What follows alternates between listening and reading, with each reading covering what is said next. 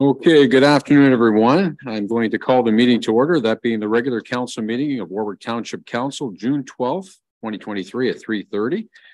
Council, does anybody have any pecuniary interest or conflict of interest they'd like to declare? Seeing none. I'd also like to welcome everybody who's tuning in through YouTube. And now I'd like to do our acknowledgement of ancestral lands, ancestral lands.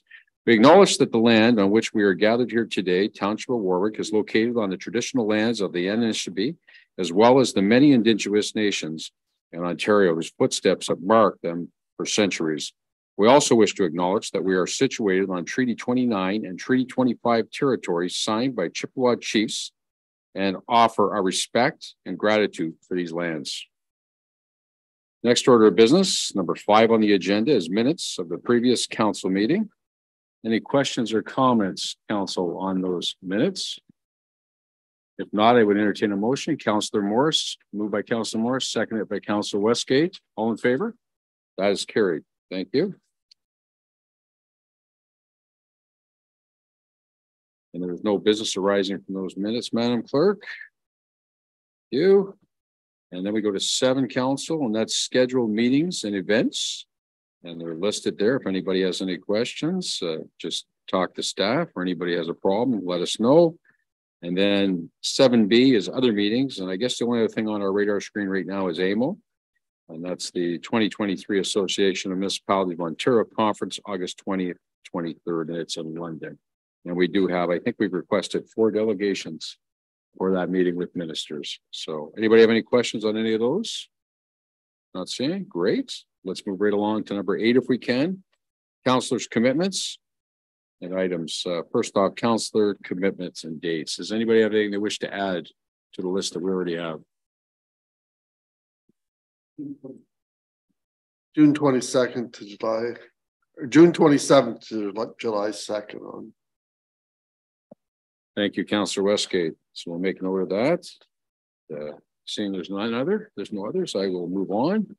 Uh, councilor items and verbal updates. I'm going to start with Councillor Manning. Councillor Manning, did you have anything for today? I have nothing. Deputy Mayor Kallenberg, I have nothing. Councillor Morris, Yeah, I have three items. Um, um, at our rec meeting last week, it was brought up about some of the Watford and Warwick sidewalks were in a bit of a safety concern. I just wondered when was the last survey we did on the sidewalks and are we due for another one? Uh, through the mayor, um, we do, uh, an inspection on the sidewalks every year. Um, I'll have to look when, I believe it's, we do it in the fall. Um, so it would, the next one wouldn't happen till the fall, but we can have a look if, and, uh, see if we can identify any safety hazards. Thank you. In Watford and Warwick. That's where I was requested. Um, the other one was that we also got a concern with, um, people, and it was actually a transport parking on the walkway along in Warwick on Egremont. There's an extended kind of lane there. And I guess people have been parking on it near the village. Now, when I went out and had a look at it, of course, there was nobody parked there.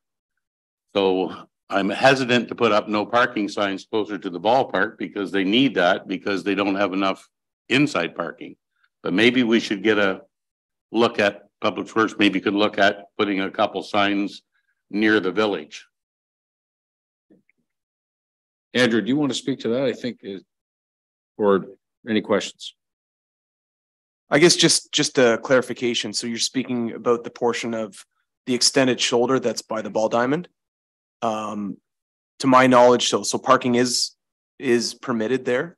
And so Okay. The concern this person had was they're walking and they gotta start walking out into traffic to go around these parked vehicles. Now, that's the only thing, knowledge I know about it, but I asked to bring it up. Amanda, please speak to this. Uh, thanks, Mayor Case and uh, Councillor Morris. Um, I do believe I'm familiar with the, the truck uh, you're referring to in that area. We have had a complaint about it, uh, and it has been referred to bylaw enforcement. So uh, it is my understanding they're working to reach out to the owner of the vehicle uh, to educate them on requirements and, of course, uh, enforce uh, with ticketing as required. Thanks. Council And Morris, you had a third? Last but not least, um, we had quite a discussion at the Parks and Rec meeting on waiver of fees for any of our buildings or facilities. Is there a policy at all? And if there is, could you get it to the rec committee, please? Ryan, would you like to take this one? Ryan?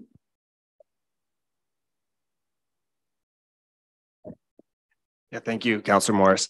Uh, I'm not so much, I, I don't believe I'm aware of an actual policy. We do have um, the application form. Um, but just to, to take Counselor Morris's point a little bit further, I think through the committee, it's something that we're looking to establish and put some more formal guidelines around that, you know, through a policy that in turn our application form that we currently have would would accompany that. Just give us all a little bit more um, sort of clarity and guidance on on the policies and processes and and guidelines around around such a such a request. Um, so if I could, I, I think that would be something that perhaps um, our department, Parks and Recreation, be directed to to pursue in association with Clerk's Department as well, and and do a further review and, and bring that back to the Parks and Recreation Committee for review. Thank you very much. That's all I have.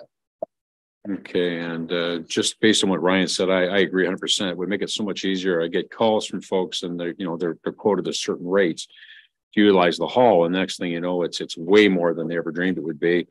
And uh, here we go through this whole back and forth again with folks. It'd be so much easier if we had a process in place that said, you know, this is what your rate is if you're this organization. This is what your rate is if you're that organization. Here's an special exemption. Here's what you have to, you know, to be able to be eligible. Here's how you have to be able to apply for it. I think would make it a lot easier. So that's great. Look forward to seeing something back on that. Thank you.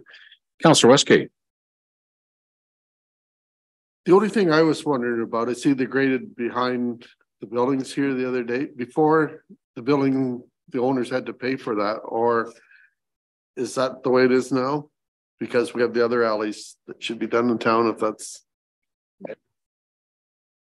Thanks, Councillor Westgate, and uh, thank you for identifying uh, a gap in actually the information that went to council about that um, alleyway, and my apologies for that. So um, as part of the 150th celebrations, uh, the planning committee identified a need to use uh, that alleyway specifically uh, to uh, provide a thoroughfare between the main location of the downtown events in front of the fire hall and museum to the vendor market that will be behind the municipal office office in the parking lot. So at the request of the planning committee, um, the business owners of that one alley only uh, were approached uh, and asked for permission to do some improvements in that area to make it safe uh, for walking and creating like a pedestrian thoroughfare for the event.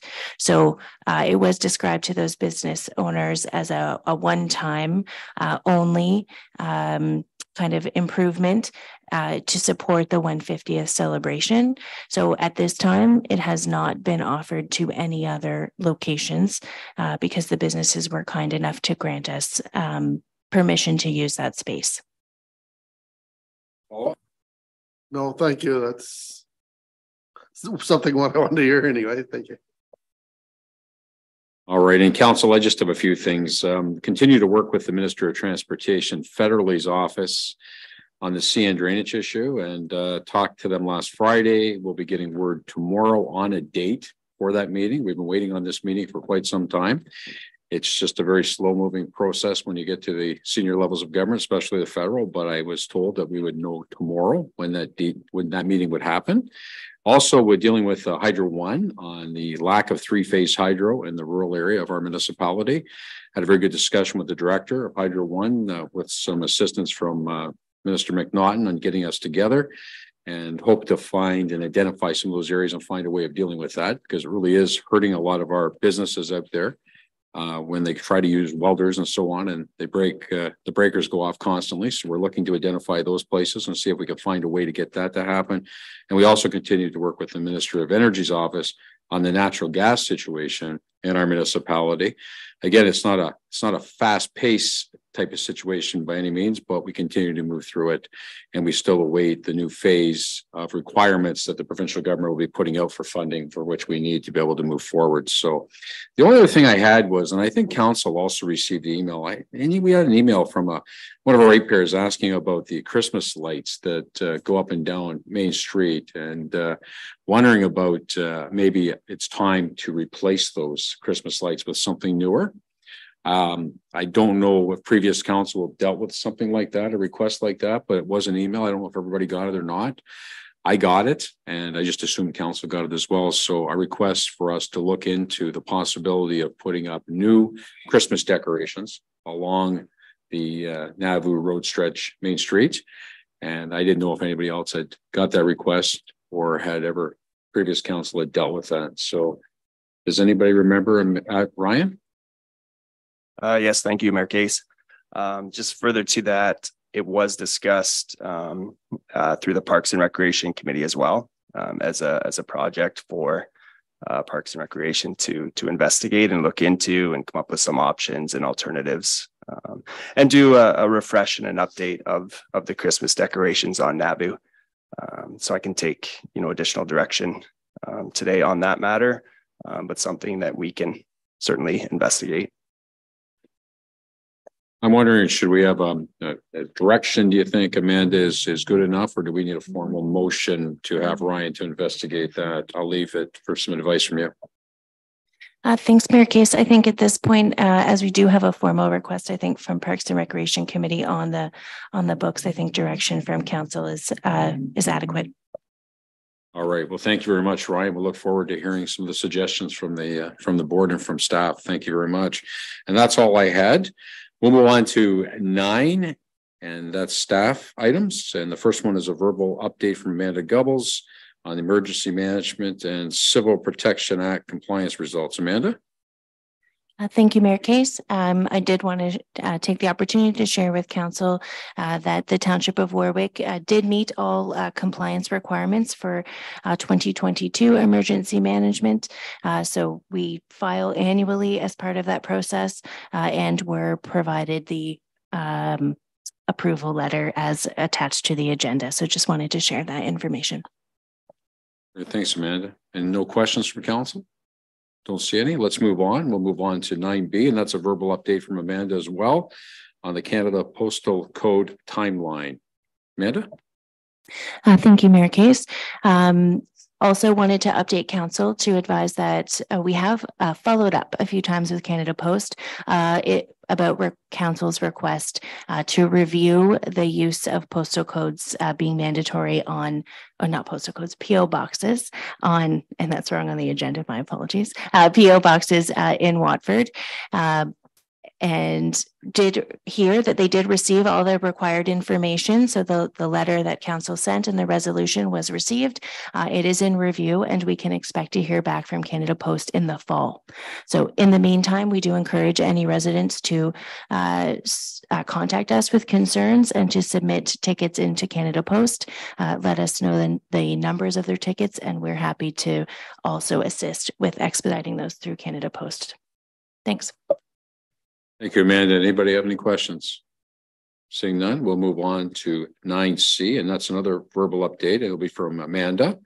And it's on it's on the proposed process change to correspondence on council agendas. Amanda? Uh, thank you.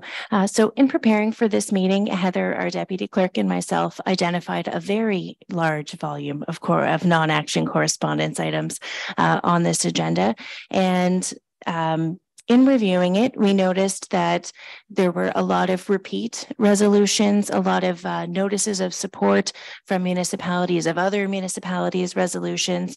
Uh, so we we did kind of a review of today's correspondence. We attached it as has been our practice over the last uh, few years, but we thought we'd also provide uh, a proposal uh, with the attachment to this item. You will see a list of the correspondence on this agenda with some red uh, strike throughs, which are meant to indicate with uh, what could probably not be provided to council for information because it's already either been provided to council or it's a resolution of support for something you've already seen. But we didn't want to make that change without consulting with council. Um, uh, so we thought we'd propose uh, this uh, alternate uh, correspondence package for today, which does see what we believe are repetitive items or items that have already been provided to council uh, removed. Uh, but we're open to feedback from council and whether they still wish to receive everything. Of course, we're happy to uh, uh provide it, but it would save some reading if that was of interest. Okay, I'll put it out there for discussion. Council, anybody have any comments? Council Morris? Um, I have no problem with changing it as long as we can still open the ones that are in black. To read them. A great comment. You're right. So you've been provided, this section only provides the summary sheet. So you would still receive all of the ones noted in black in the same format as you do now with a hyperlink on your electronic agenda. So you just, if today's correspondence was done again, let's say with this new model, the items in red would not be available.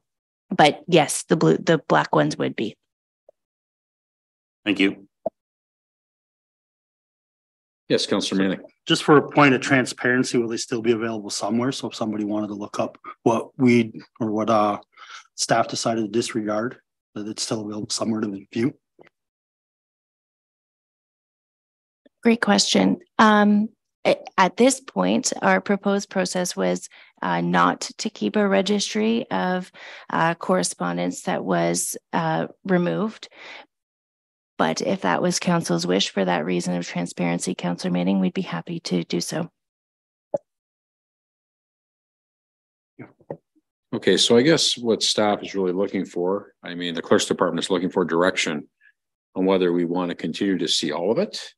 Um, again, especially when it's repeated and it's already been dealt with in the past, I can honestly see where the clerk's department would have uh, obviously some questions about that. I guess uh, question the council is, um, are you okay with what's being proposed by the clerk's department. Councillor Westgate.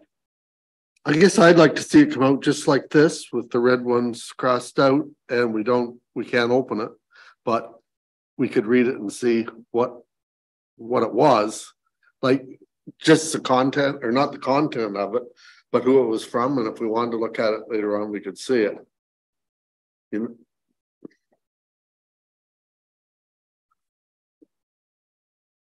Okay, anybody else have any comments about this proposal? So what I'm hearing right now is that uh, unless somebody wants to uh, correct me, I, what I'm hearing right now is we continue as on, but maybe as it was done today with it in the red and the other one's in the black. So is that the direction back to staff? Am I hearing everybody? Yeah, okay, very good. Well, thank you very much. I appreciate that. Okay, council, we're going to, we're going to move on and we are at number 10 delegations, but we're about 11 minutes too soon. It is a timed event. We have some drains, quarter revisions and so on to deal with. So I'm going to go to number 11 accounts if I could. So I'll take everybody to accounts. I'll give everybody a chance to get there. And I'm going to ask, did anybody have any questions on the GL report? No questions on the GL reports? And then I'll ask the same thing. Is there any questions on the accounts payable? That being eleven B on the agenda. Seeing no questions on either, then I would ask for a motion to approve both if council saw fit. Councillor Manning is moving, seconded by Deputy Mayor Kallenberg. All in favor? That is carried. Okay, let's um, let's get into number twelve, part of our consent agenda. And uh, we have some minutes here um, from uh, the meeting on May eighteenth, twenty twenty-three. We also have minutes from the special council meeting of April 29th. Any questions on the first set of minutes, the May eighteenth, twelve A minutes? Anybody have any questions on those? Okay. Anybody have any questions on the one, the, the minutes from May 29th, 2023? Very good. And then we have the minutes from the Parks and Recreation Committee of June seventh. Questions on those minutes? Anything that uh, Chairman Morris, you'd like to highlight of those minutes? No, I think the only um part that was, you know, really important in that meeting was the discussion of the waiver of the fees. It was quite a good roundtable discussion, and I'm happy that uh, we're gonna follow up on it. Thank you. Thank you, Counselor. And then we go to D, and that's surplus tax sales. Any questions on that particular piece of business, council? Not seeing any. Okay, and then E is uh, it's an update on the Watford one fiftieth anniversary celebration, which I think everybody in this room is involved with. Um, any questions on that? Okay, very good. Thank you. A lot of hard work going into that by a committee of, I'm hearing over hundred people or volunteers of up to hundred people. Mr. Chairman, that's excellent. And uh, let's go to F, and that is June, and June is Parks and Recreation Month, and that's an update. Any questions on that update? You know, Ryan's put some effort into this. Ryan, anything you want to highlight? Yeah, thank you, Mayor Case. Um, yeah, nothing further to, or nothing uh, too much additional to report other than, than what's already in, in the report. Other than we just, I guess I can take this opportunity to um, recommend that the community gets outdoors through active participation and enjoys some of our great parks, places and spaces throughout the township. And um, feel free to take part in our snapshot challenge, uh, take some pictures, uh, hashtag the township of Warwick. Um, hashtag June is uh, Recreation and Parks Month. And just uh, basically show us, tell us how you utilize our, our great spaces within the community. Thanks, Ryan. Well done, especially since I put you on the spot like that. Thank you very much. The next one is G, and that's the Canada Day update. Anybody have any questions on that? So we roll out of one event, the big one fiftieth, right into another, being the Canada Day. Anybody have any questions on the Canada Day update? No, don't see any. Thank you. And um, of course, we have the non-action correspondence. Did anybody want to pull anything out of the non-action correspondence? Councillor Morris? Well, as Amanda said already, there's a lot of repeats. Um, two, Amanda, I wonder if you could tell me what is meant by some of these people's concern with the surpluses from tax sales? Amanda or Trevor? Who wants to take that one? Oh, sorry, Trevor. Yeah. Oh, that's. Yeah. Okay. So we get in, all then? Okay, that's all I needed. Thank very you. good. Nothing else on the non-action? Very good, thank you. If that's the case, then we're at the point where I would ask for a motion to receive and file. Then Counselor Westgate, moving, seconded by Counselor Morris. All in favor? That's carried, thank you. Okay, let's, we got a few minutes yet until four o'clock, I guess six minutes. Let's go to thirteen if we can. And this is reports and items requiring a motion. And uh, let's uh, go to action correspondence if we could, please. That's thirteen A. And the first piece of correspondence is uh, zero six one one five, and it's the sixtieth anniversary reunion committee request. And uh, that's the SS nineteen. How does council wish to deal with that request of financial assistance? Anybody? Counselor Westgate.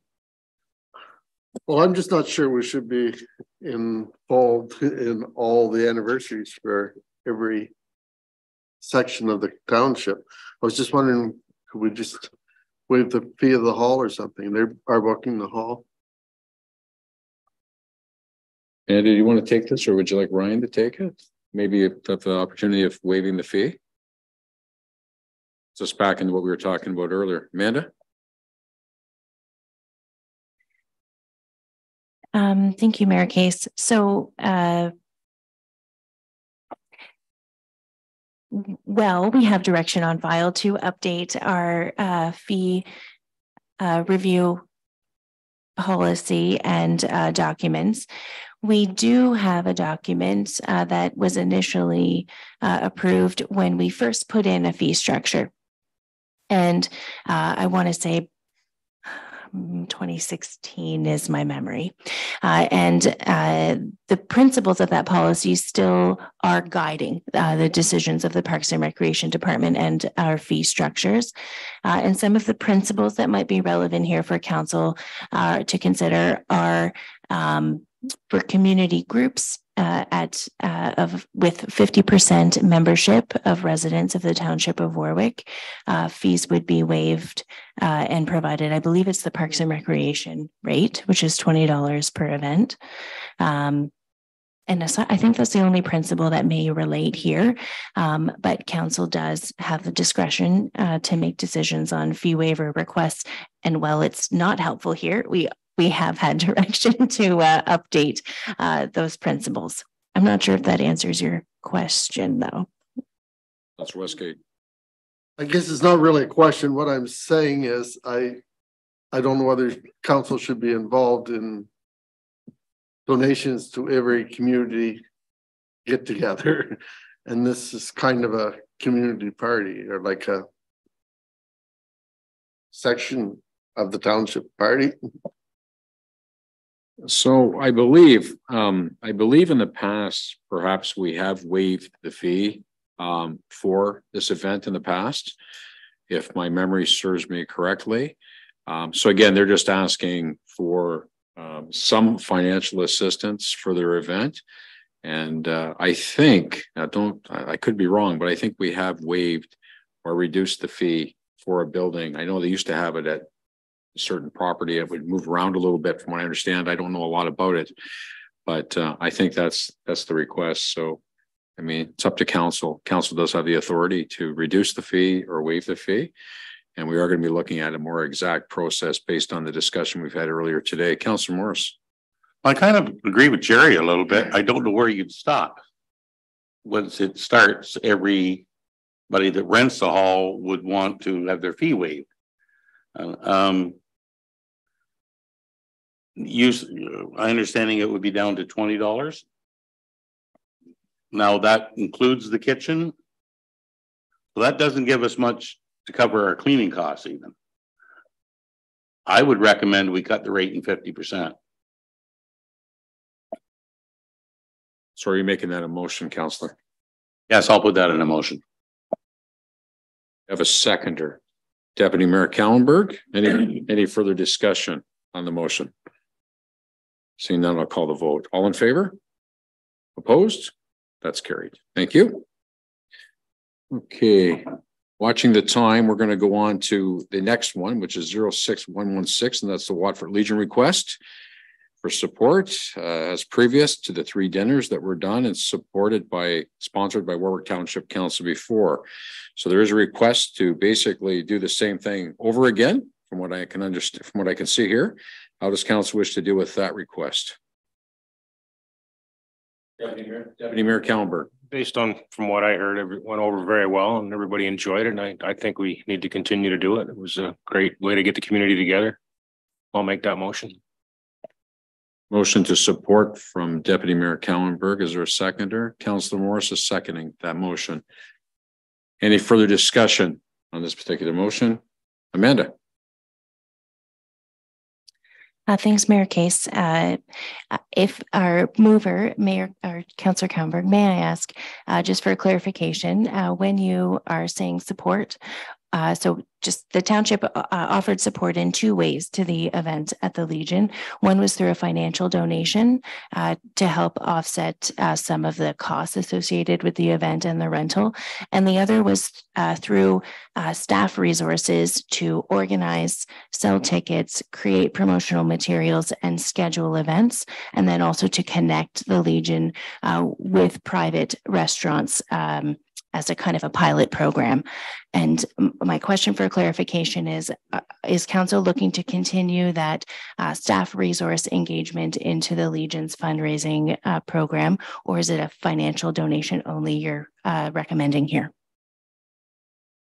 Deputy Mayor? I would say continue as we did last year with some financial resources and some staffing resources as well. Seconder is okay with that? Okay, um, very good. I'll call the question. I think the whole the whole gist of this whole thing, I think, was to get it started. And to really get the Legion to carry the ball after the fact. So hopefully after, we're gonna call the vote, obviously, but after this time, doing it a second time, which again, we want to support the Legion, but hopefully after this time, maybe we can. Work with them a little bit more so where they can actually take it upon themselves to do some of this, uh, some of this stuff and contact the restaurants. And, uh, again, we have to be protective of staff time to a certain extent too, but, uh, very good. So I'll call the question. All in favor? That's carried. Thank you. Okay, we're going to shift gears. We're going to come back to correspondence later on. It's four o'clock. We're going to move forward with, uh, court of revision first. So I'll take everybody to that. So we're back to four.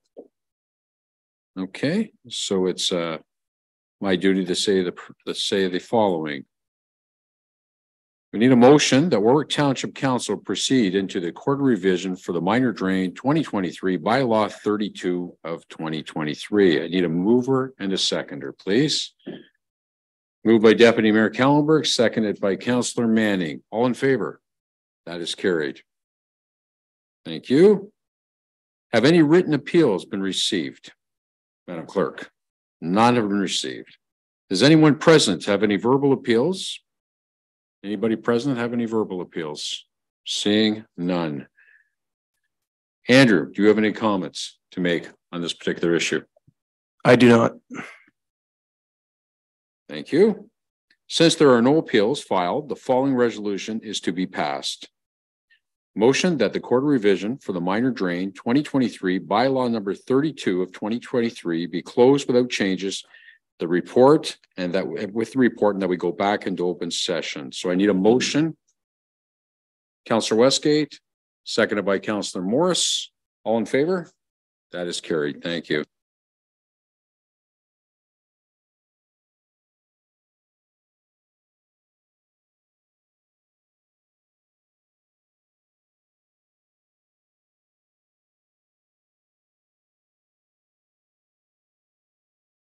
The next uh, piece of business before us is the um, consideration of drainage report. And I'll proceed. We'll proceed into the consideration of the drainage report for the Eastman Van Art drain. Any petitioner has the right to withdraw from the petition. Does anyone wish to withdraw? Seeing nobody? Any other owners any other owners in the area requiring drainage have the right to sign the petition. Does anyone wish to sign the petition? Seeing nobody? Mike DeVos of Spriets and Associates, will you please explain your report? Where is Sorry, Mike. Good, thank you. How are you? Good to see you. I was looking for you up here. Okay, Mike, the floor is yours. Um, yes, uh, this report was prepared in accordance with section seventy-eight for repair and improvement to an existing municipal drain. Uh, currently, the lower portion of the drain, which is an open channel, uh, crosses lot twenty-three to get to a junction where the Hagel drain uh, meet together and become a, a private ditch or natural water course downstream of that. The landowner requested to have the drain relocated from its existing condition and location to the east property line uh, as the uh, the two different channels uh, segment the property significantly and, and hinder a agricultural cropping practice. Uh, we did consult the environmental agencies, the Conservation Authority, and the uh, Department of Fisheries and Oceans prior to to uh, commencing with the design. Uh, we have and are recommending um, relocating the channel, constructing a new channel on the the west side of the the property line, which is the, the same property that the existing channel is on, and constructing some erosion control measures at the bends to protect the water as it it turns uh, from its uh, current alignment north and then again heading west as it hits the Hagel drain.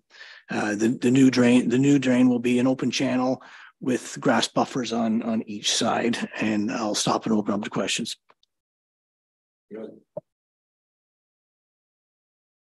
First off, I'll call upon Andrew, our drainage superintendent. Do you have any comments, Andrew? No, I don't. Thank you. Does anyone who's present wish to ask any questions or make any comments? Seeing none. So if the report is approved, the bylaws will, the bylaw will be given first and second reading uh, later in the meeting. Thank you for attending. We'll move on now to the next drain, which is the Hagel drain. We'll go through the same process. So we're going to proceed into consideration of the drainage report for the Hagel Drain 2023. Any petitioner has the right to withdraw from the petition. Does anyone wish to withdraw? Seeing nobody. Any other owners in the area requiring drainage have the right to sign the petition. Does anyone wish to sign the petition? Seeing no one. Mike DeVos of Spriets and Associates, will you please explain your report?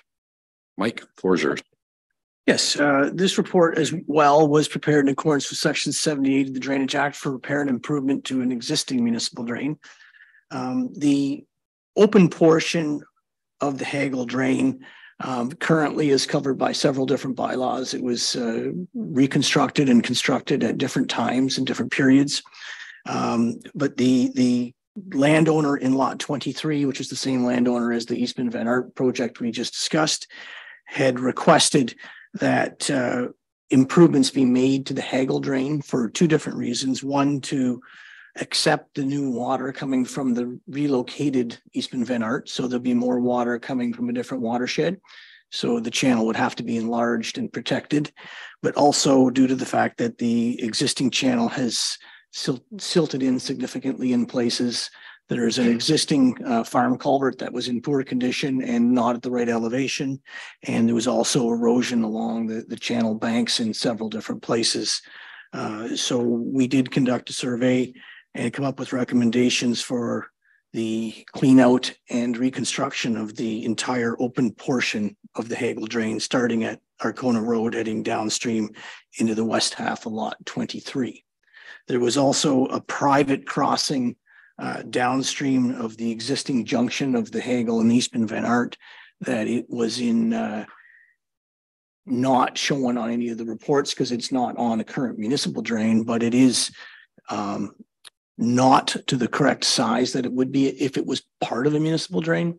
Uh, the grade of the the laneway on top is quite low, so it would be considered a, almost like a low flow type crossing where water will overtop the crossing uh, in any sort of larger rain event.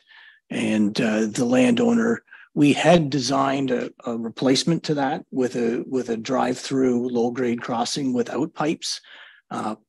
Pipes tend to do do clog quicker than than a than a normal low-grade crossing, but the landowner wished to keep the crossing and volunteered to lower the, the laneway top elevation to help accommodate that a bit. So it will remain private and was removed from the proposed work.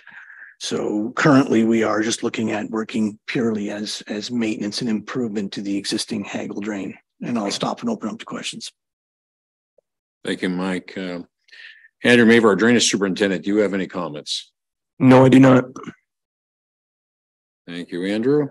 Does anyone who is present wish to ask any questions or make any comments? Seeing no one? Okay. If the report is approved, the bylaw will be given first and second reading later in the meeting. So I'd like to thank everybody from coming and uh, we're done with the drainage piece of business today. Thank you.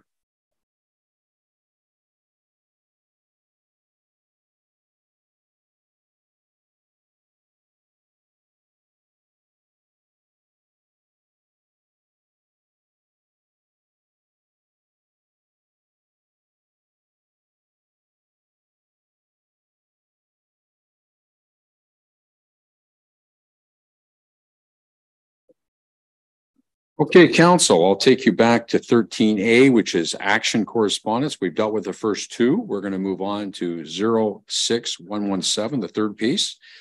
And uh, that's some correspondence from uh, Nancy Morgan on kitchen waste reduction programs and uh, basically looking at us to maybe investigate that on, on behalf of the municipality of Township of Warwick. How does council wish to deal with that piece of correspondence? Let's see. Councilor Morris. Uh, refer to the, uh, Parks and Rec management team to investigate. Okay, we have a motion to refer it to Parks and Recreation. Um, Okay, so um just listening to our clerk, uh, she's suggesting maybe Public Works instead of Recreation. Okay. Counselor, are you okay with that? So the motion would be to refer to Public Works and uh do we have a seconder to that? Motion, yes, uh Counselor Manning. Any further discussion? All in favor? That is carried. Thank you. And uh, then we have zero six one one eight. I don't see any comments on that particular. That's looking for a flag. We don't normally do that type of thing. Okay, we'll move on. And uh, we're at zero six one one nine. And that's um, a request for dust control for a special event from uh, John and Chris Van Ertz. How does council wish to deal with this request? I guess just a question for Andrew, how much, like, it's not a very big stretch, so would be hard to organize to get somebody to come in and do it. Um, I, I, I don't think we'll have an issue. Um, they do have multiple sizes of trailers they can bring, so I, I anticipate that we can, uh, we can arrange, we can work with the owners and our supplier to make this happen. Okay, saying that, I guess they're willing to cover the cost of that, so I'll make that motion that we allow them to do that. Motion by the deputy mayor. Do we have a seconder for this piece of business? Counselor Westgate, any further discussion? All in favor? That's carried. Thank you. And we move on to zero six one two zero, and that's a request for support from the North Lambton Child Care Center. Does council wish to deal with this particular item? It's For uh, playground equipment uh, for the program at uh, St. Peter Canisius uh, School. Not seeing anybody on this particular one. Okay, we will move on to zero six one two one. This is the Guardian Angels. Is this something we've supported in the past, Madam Clerk? It's on the list, is it not? So when we do, it, so it's part of our yearly grant process, right, Trevor?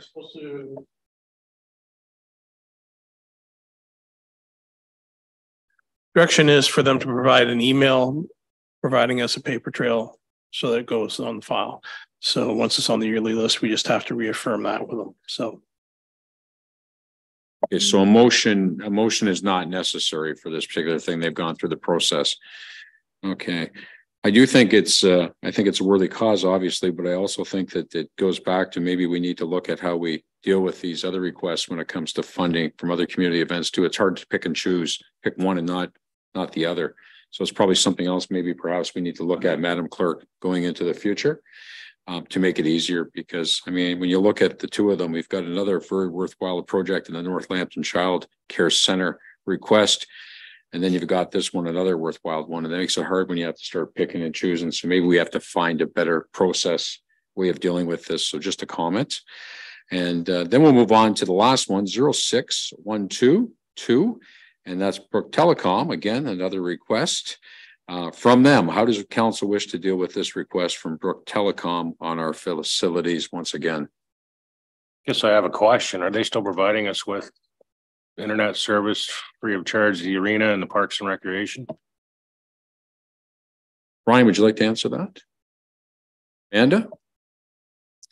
Uh, thanks, Mayor Case. Uh, they are currently, yes, uh, providing us, uh, free Wi-Fi at the, at, at the entire, uh, facility. Um, and actually as part of their, uh, contribution to the East Lambton Community Complex, uh, they've expanded that service, uh, and, uh, through that donation and fundraising effort program. Thank you for the clarification. Deputy Mayor? Well, I, I guess in that situation, they are partnering with the township and the municipalities, so I, I think we should partner with them to host this. It's gonna bring some new people to the community and the community center as well. That's just my thought. I'll make that motion, yes. Do we have a seconder? So that's forgiving the cost, right? Deputy Mayor? Correct. Thank you. Do we have a seconder to that particular motion? Council Westgate. Seconding the motion. Further discussion? Councilor Morris. Well, I just, I just noticed on here, I noticed at home too about the uh playground and splash pad. Is that gonna tie it up for our own local residents that want to use it the same day or like, are they booking the splash pad or just the hall? Ryan?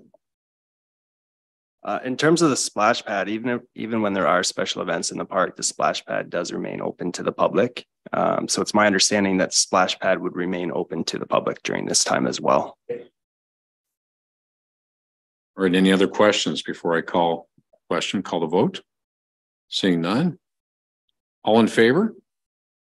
That is carried. Thank you. Could I have a motion to receive and file the remainder of the correspondence, please? Counselor Morris, Counselor Manning, all in favor? That's carried. Thank you. Okay, let's move on to thirteen B if we can, and that's the uh, uh, joint farmland lease agreement uh, with Waste Management and the township. Uh, and again, looking for, I'm sorry, We have another timed event at four fifteen, what is that one? the Ausable Bayfield. Oh, I'm sorry. So- I'm sorry. I Jumped around. Okay, because we're jumping around so much, we do have the um Bayfield Asaba Group here today to talk to us. Sorry about that, folks. We uh got into the uh, correspondence in such a big way that we passed you. So please come up and join us. And again, my apologies. Sure whether you're gonna. Well, you never know. You're, if you're asking for money, you never know what might happen. So anyways, welcome, folks. That's okay. Yeah. Yeah. All right, so the floor is yours. Okay, uh, thank you. Uh, first of all, um, um, introductions. Um, I'm Brian Horner. I'm the general manager at the Ausable Bayfield Conservation Authority. Um, and I got Mary Veliz, um, our healthy watershed manager. I'm gonna start, try to talk about our, the, uh, draft cost portion agreement, like in a general terms and maybe numbers. And if you have any really specific questions on some of the programs, I'm gonna turn you over to Mary that she can really answer them. Um, but again, thanks for having us. I, I, I gotta be honest, it's, uh, as you, as you're aware, we, uh, you share a, a member and your member, uh, um, from Lambton Shores, Dave Marsh. I invited him to come today, um, but he was unable to, to attend. So again, I haven't really been here. I've been on through Zoom a little bit, but I don't recognize all the faces, but it is nice to see everybody in person. Um, so if that's being said, I'll just get right into it. You should have, I'm hoping that the documents I sent, everybody has it. So I'm gonna try to go through it the best I can. If you have a question on certain pages, by all means, ask me or Mary. Um, but the first one, the first section, it's kind of like three sections. The first six pages, it's kind of a guide to our agreement. And actually, I better, I get, I get back, I gotta back up a bit. So just so you're aware, the actual, um, the province this, this coming twenty twenty-four, we are required to have, um, cost apportioning agreements with all our member municipalities to levy, to, in order for us to be able to levy some of our programs and services. So that's what we're here to talk about today. Um, when I say that, we, the province considers them category three.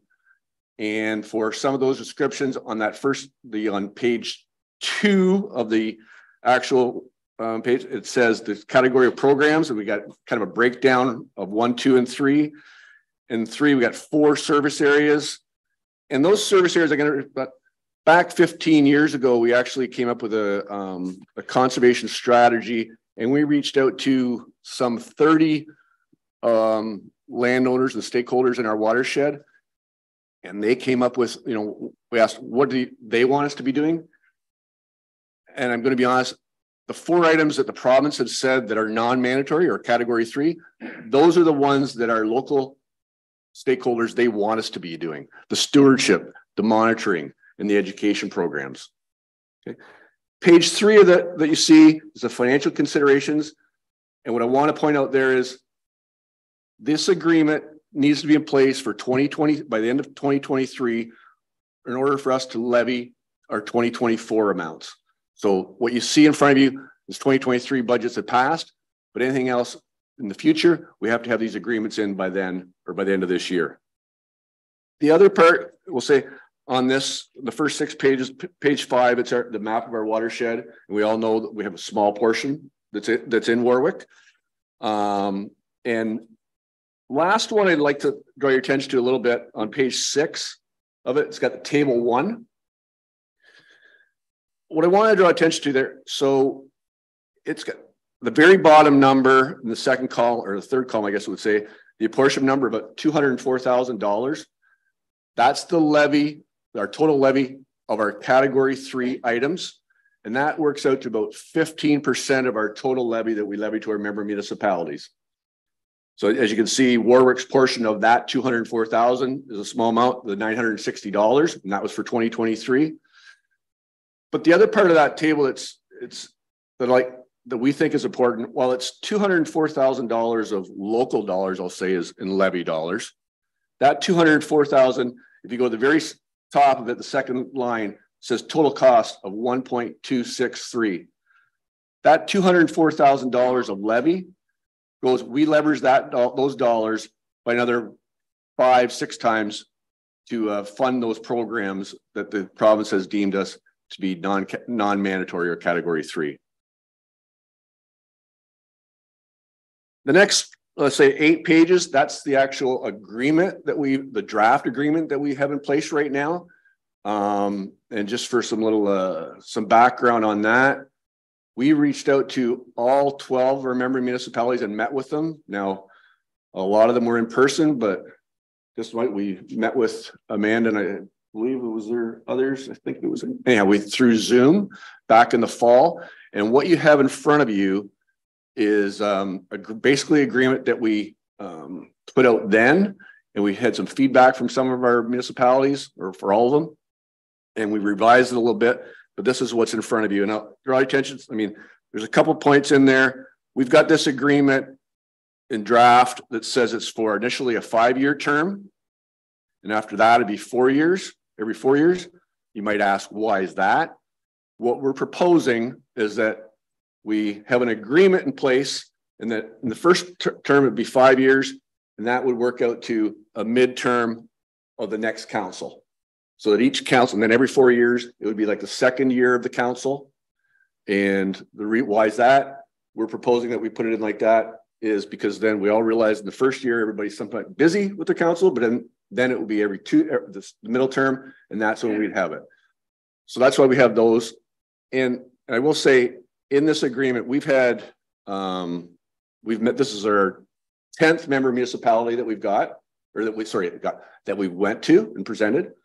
We, of the first nine, we've actually have agreements, similar agreements signed with five of them. And our sixth one is being um, recommended shortly, and that's with your uh, neighbor, the Middlesex Center. They're in the, uh, um, they're fortunate that they have five CAs in their uh, uh, that they deal with, and they're trying to get all their agreements all similar. So that's why you know they're on board with this, but they're still trying to um, work out some of the details so that it's all somewhat consistent. The next few pages that you see, um, it'll talk about uh, with the service areas and Schedule A. This is uh, it's got some detail on this on the programs, but it's really it's the numbers that you saw on table one, just broken down by each each uh, individual uh, um, service area. And the part that I want to address on this one, so while we have the agreement, we're hoping to do it every, you know, first year five and then four years. This Schedule A, we're proposing that it will be something that will still be coming back annually as part of our budgeting process. So we're not saying we're not saying we're okay. This is this is what we're saying. You're we're you're agreeing to those numbers for five years or four years. We're saying you agree to the services but each year we'll be coming back with the actual dollar numbers. Okay. And the last couple pages, um, it just, again, it's a, it's a document that we used when we came to senior staff back in the fall. So we thought we'd include it as well. And it talks about some of our uh, programs as well, as far as, and as well as percentages on some of the funding. You'll see on the last page, um, well, the, I mentioned, while the province, province has uh, kind of the graph. Well, pro the province has category one as what they deem as mandatory, um, provincially mandatory. You'll see that that portion is where they're funding the smallest dollar number. And if you go down to category three, where they're saying is um, non-mandatory items, that's where we get the larger leveraging dollars that we show in there that way. So with that, that's a, snapshot of the agreement and the numbers. I might let Mary, if, if it's if it's okay, I will let her talk to some of the other Hey, thanks very much for having us today uh, come and speak about watershed management with your council. Uh, appreciate very much that you have a number of things on your agenda uh, frequently, and, and it's quite a variety of things that you're tasked with managing. And when issues around the environment come up, it's sort of what now? Here we are. Um, so I just want to explain a little bit about watershed management and the benefits provides your constituents. And that is just that when we use our landscape uh, there are many, water is often a byproduct of that. So whether that's in an urban area or a cultural area, water is something that is sort of a secondary consideration. And of course, at the site scale, it's just a little bit of water and it doesn't really add up to very much. But when we look at uh, issues with respect to water, flooding, erosion, water quality issues, uh, habitat issues, it's really the accumulation of all of the water from the little places that adds up to uh, bigger issues downstream. And the way that we can manage those things is not by telling people what to do, it's by providing them with stewardship opportunities, best management practices, education, information to figure out ways to best manage that water so that it isn't causing some of these downstream issues that we hear about. So that is the background on some of these programs that I think are relevant for folks. So um, now Brian's provided the financial considerations for the um, the cost apportioning agreement, and there's some I've provided a little bit of background on watershed management. And I recognize our area flows, our area flows up to the, up the AuSable, up into Grand Bend and may not be as recognizable to you folks, but it is, your area certainly is contributing to, to our watershed area. And we're grateful for the opportunity to come and speak today. All right. Well, thank you very much, Brian and Mary, for your presentation. Does council have any questions of our guests today? Seeing none, you did such a good job on your presentation and on the written work you sent forward. Nobody has any questions. So thank you very much for coming and uh, we do appreciate your time. Safe trip home. Thank you. Thank you.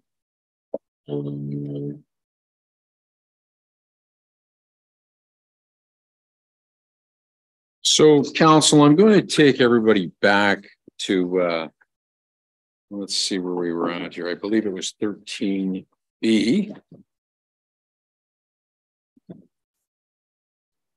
So we're going to go back to thirteen B on the agenda, and that's the joint farmland agreements. And uh, we're looking for direction on this particular issue. Um, or staff is looking for direction. Uh, anybody have any questions, comments? Councillor Morris. Yeah, um, we've had this before we where we've extended the year, but I never remember asking for more money. I think we should either leave it at the three hundred or retender it. I don't think it's fair to ask them for more money in mid-sentence. I mean, Yes, uh, Amanda, please. Um, appreciate those comments and um, that is absolutely true. We would not uh, typically look at adding or increasing the price to just be extending on the same uh, terms as are in the agreement. Okay, anybody else have any questions on the land lease? Seeing none. So again, we are looking to move this forward. So we're looking for some direction from council back to staff. Councillor Morris. I recommend we uh, extend the lease by one year to um, John Van Gorp. Or I think it's John, isn't it? And um, at the same price and bring it up for tender next year or the year after, I should say the crop year. So we have a motion on the table. Do we have a seconder to that motion? Deputy Mayor Kallenberg is seconding it, seconding the motion. Do we have any further discussion on the motion? Seeing none, I'll call the question. All in favor? That is carried. Thank you. Let's go to uh, thirteen C if we can, and that's a follow-up on proposed amendments to Township Warwick parking bylaws. There's some recommendations there for council's consideration, or council can come up with one on their own. Any comments on the on the um, proposed amendments to the township parking bylaws? Anybody? I guess maybe I'll start. I don't see anybody. Um, I look at this and I, I think I can easily support myself. I can support um, increasing the fines from forty to sixty dollars. I think there's nothing wrong with that. As far as the structure of, as far as the fee structure for the pass itself, uh, we are seeing some tough economic times out there with uh, increases everywhere else. I, I don't see the benefit really in, in increasing that fee from fifty to hundred dollars. Like I say, I do support the, the raising of the fees when it comes to the tickets. That makes a lot of sense.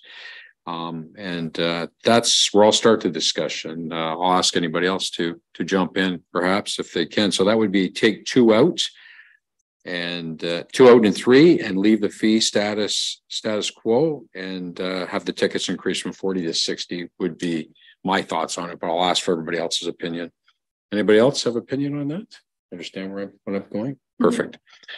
Counselor Westgate. Guess just a question, we are going to still give out the parking passes. Yes. Cause I think we probably have problems for a little while. If we wanted to do away with it, if that was our plan, we should tell them. Within two years that we're gonna do away with it. Uh, if we want to look ahead and do away with it, but I'm not so sure we need to, uh, or are they causing a big problem? And do you want to take that? Uh, great question, Councillor Westgate. Um, so initially, uh, when this, when a previous report on this matter was brought to council, the recommendation was uh, at that time to remove uh, the parking permit passes uh, because of some issues and concerns that were shared primarily by our public works operators. Um, council did ask us to look uh, a bit further into that and to contact the current pass holders. So after doing that, we've uh, noted that a number of properties that obtain parking passes physically do not have an alternate, uh, an alternative parking solution. So that's why we revisited this and um, proposed a different structure as opposed to elimination uh, of the pass itself. So we're proposing to keep the pass. The proposal um, uh, does propose uh, some increased fees uh, and ticketing as well as continued uh, enforcement, which was, uh, I would say, also lacking in the past. So that will do a great deal on its own to address the concern from our public works team. Thank you, Amanda. So yes, uh, unless somebody wants to, um, to suggest something else, it would be to leave the past situation in place. Um, again, and, uh, and move forward. So if anybody else has any word, I, I would propose a motion that we, that we do, um, uh, leave the, uh, pass uh, situation as is, the same price, status quo. And that, uh, we increase the fines from forty to sixty dollars. And, uh, keep it that simple and uh, go from there if I have a seconder to that. So we have a counselor and uh, Counselor Manning. Further discussion. So is staff clear on the motion? I am clear. We just haven't lifted it from the table. I know we've got to back the bus up there. Yeah. So I'm going to ask for a motion to lift this from the table. Counselor Morris, seconded by Counselor Westgate. All in favor? That is carried. And now we'll move on to the motion that uh, been presented and further discussion on that motion. I'll call the question. All in favor? That is carried. Thank you.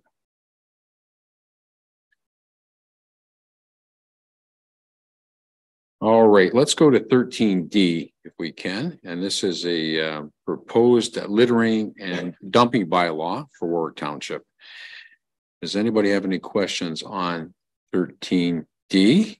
There is a recommendation there for council's consideration that it looks like a lot of work went into it and also one of our ratepayers who made the suggestion. Does anybody have any questions on 13D? Councillor Westgate.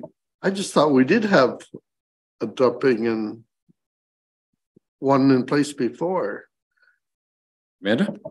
Oh, actually, uh, Councillor Westgate, when the an issue initially came up from our uh, ratepayer who delegated to council, you I recall you saying the same thing, and as a result, I did look quite extensively uh, and I uh, could not find one. However, I think it's possible there might have been one for the town of Watford prior to amalgamation, but I'm still unable to find it. So that's why we continued with preparing a new one. Um, and it would supersede uh, anything that was put in place in the past and also allowed for an updating of a, of a previous bylaw we were unable to locate. That may be a long time ago, but I'm sure when bag tags went in. we did put one on at the same time, but that would be twenty some years ago. All right, so there is a recommendation for council's consideration. How does council wish to deal with the, with the recommendation? Councillor Morris? I would be, uh, Moved by Councillor Morris. Do we have a seconder? Deputy Mayor Kallenberg is seconding it. Any further discussion? All in favor? That's carried. Thank you. Okay, let's go to uh thirteen E. This is proposed changes in the fire dispatch services. There's a recommendation there and we do have our chief here and also commander of the county fire group. I'm sure that's not the title. Brad, do you want to come up just in case there's any questions? I can. Yeah, sure. Come on up.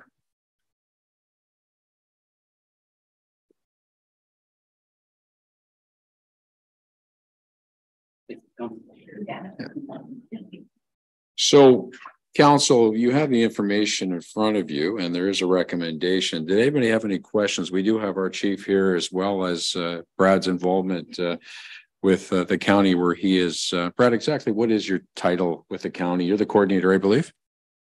Yeah, the provincial uh fire marshal's coordinator for mutual aid. Thank you, Brad. So did anybody have any questions? or a recommendation, but we do have Brad here. Did anybody have any questions on this new agreement for Brad today?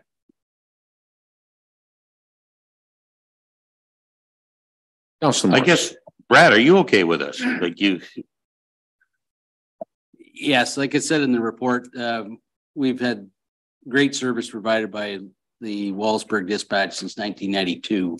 However, times have changed. The call volume of the EMS has gone much higher and their staffing levels have not increased. Um, this will be a full fire service dispatch, so complete monitoring of all the calls, um, um, full report of every transmission on the radio we will now get. And so it, it clears up any liability concerns for a lot of different things that way too. So it's, it's, it's, most of the province is already there in this exact same service. So it's, it's definitely time that we move forward too. So. All right, thanks, Brad. Yes, Deputy Mayor Kallenberg. I guess based on what, from my understanding, when the call's been made to you guys, there'll be somebody closely working with the department for the whole time. That's right. The dispatchers uh in the new service agreement with Sarnia Police will monitor every transmission. Uh from start to finish of the call, whereas right now currently we have a call answer, a call dispatch. And then they close off and go back to the EMS calls. So. Um they answer our call back in there when when they have time, but uh. Sometimes their time's pretty valuable with EMS calls, so, yeah. All right, thank you. Did anybody else have any other questions? Brad, while we've got him here. Okay, council, there's a recommendation before you. How do you wish to deal with the recommendation? I'll, Deputy. I'll move Deputy the rec, that, I'll move the recommendation as presented. Thank you. Moved By the deputy mayor, seconded by Councillor Westgate. All in favor? That is carried. Well, thank you, Brad. Appreciate you being here today and uh, thank you for the good work you're doing. Very Thank much you. appreciate it. Thank you. Okay, let's go to um, F. Site plan deposit policy. And the first thing I'm going to do is ask for a motion to lift this from the table. So uh, Councillor Westgate, seconded by Deputy Mayor Kallenberg. All in favor of lifting? That is done. Thank you very much.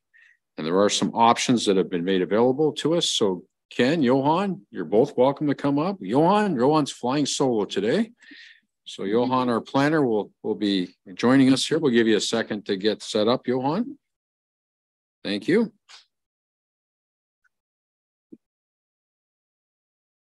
So that is thirteen F. And uh, what we'll do is uh, there are some options there. And maybe what I'll do is, uh, Johan, I'm going to give you the opportunity just to maybe go through those motions once again. Uh, those recommendations, pardon me, with council. And council realizes they can accept this or come up with something on their own uh, when it comes to this. So Johan, the floor is yours, please. Thank you. Um, Bishop, good afternoon, respected members of council and the viewing public. I'm here today before you to provide supplementary information regarding the site plan deposit policy options that were presented during the previous council meeting. As a, as a quick refresher on what those options were, there was three options. The first option was a cost percentage option. So how the site plan deposit was um, calculated was it was a sum of 100% of the site works on municipal land plus 20% of the site, site works on private land. That's the first option. The second option was a sliding scale. So it's an increasing percentage depending on which cost category it fell under. So if um, the site works is under $50,000, it will be 20%. If it, it is between $50,000 and $300,000, it would be 25%. And if it's above $300,000, um, the percentage would be 30%, and that would be the cap. And the third option was um, a combination of both of these options. So um, for the site works on municipal lands, that will be 100%. And plus for the site works on private land, that would be the sliding scale as mentioned in the second option. Um, there were questions uh, brought up in the uh, previous council meeting. Um, council requested to see how the site plan deposit options would work with phased development using examples. And the examples um, requested were the 79 Autoshine Inc. car wash and the home hardware expansion project. Regarding the car wash, that project was not phased, so we can't use that as an example. Regarding the home hardware expansion project, so that project was phased, but um, for the purposes of using it as an example, the site works were all in the first phase. So in that scenario, it would just be we would take a deposit at the beginning of the first phase for that considerable amount, and uh, that deposit is returned at the end of that that phase. Um, as there weren't any proper representative examples, we've cr- created a hypothetical. So taking that example, so the site works was three hundred fifty thousand dollars for that project. We thought, okay, let's split that amongst three phases and see how that would work. Um, so our assumption was two hundred thousand dollars for the first phase, seventy-five thousand dollars for the second phase, and for the third phase, seventy-five thousand dollars again. These are the site works costs. And also with a caveat, um, out of the two hundred thousand dollars from the first phase, forty-five thousand dollars um, is work on municipal land. Um, with hundred and fifty-five thousand dollars, that's the remaining of the two hundred thousand dollars on private lands. So using these assumptions, we have done the calculations and plotted it out with the various options. And I believe you have a slide to show that.